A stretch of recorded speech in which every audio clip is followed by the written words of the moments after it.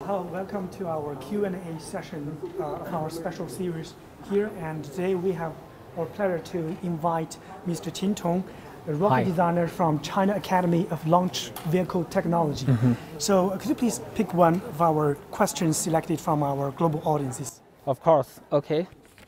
Okay, let me see. Huh.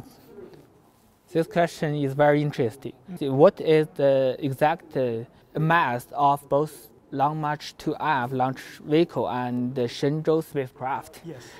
The total mass of the Long March 2F launch vehicle is about uh, 500 tons, with uh, It's almost 500 tons. yeah, with the capability of uh, low Earth orbit is about uh, uh, 8,130 kilogram. Uh, and the Shenzhou spacecraft is, uh, is about 8,070 kilograms. So uh, we have the, uh, the, the power to send the uh, Shenzhou spacecraft into orbit. That's no problem.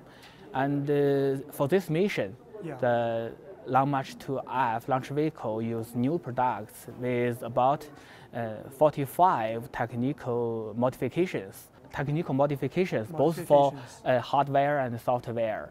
Uh, all these uh, modifications are benefits for our uh, reliability. So our reliability is about uh, 0.